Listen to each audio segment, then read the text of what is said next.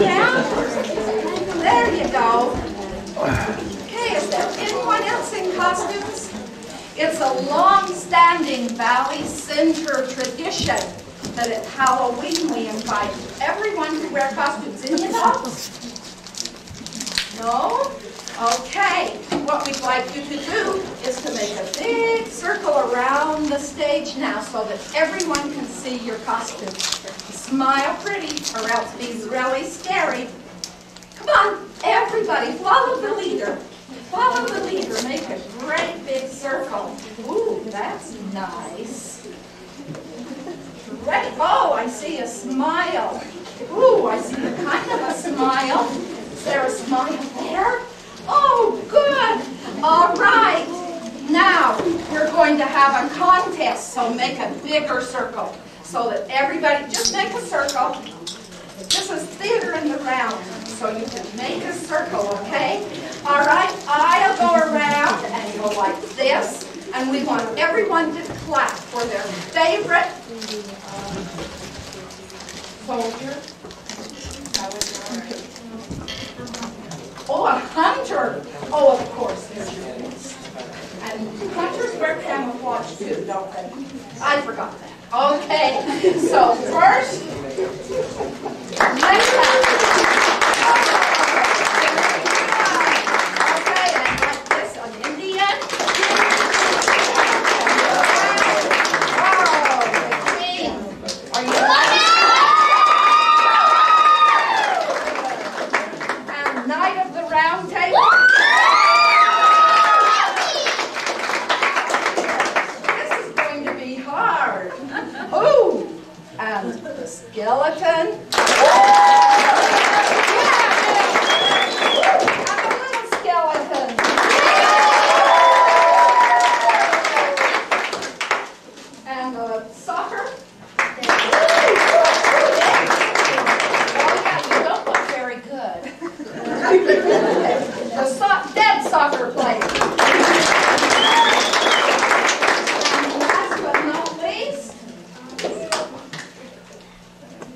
a bat princess.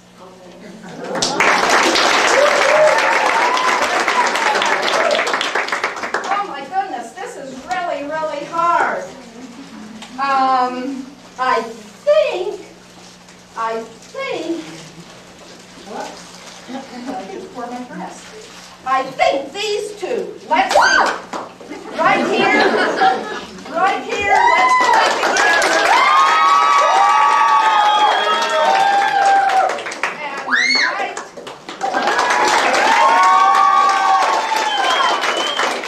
Okay, we'll have two winners. Everybody just stay where you are for a minute. Okay, now this is what Brother Lindstrom, or Mr. Lindstrom, sorry, always says. You can either have a ticket to come back and see another play, or you can go back up to the concessions and choose your very own treat. Now, this is worth five dollars. So which would you rather have? A treat or the ticket? Ah, the treat, how did I guess? Moms and dads pay for tickets, right? Okay, which would you rather have? The ticket or the treat? Oh, yay! Okay! Boy, that's good. There's the ticket. Do you know what, you guys? It was so close. I think you're all winners. So if you want to just go right back up there, you can pick. All of you can pick whatever treat you would like?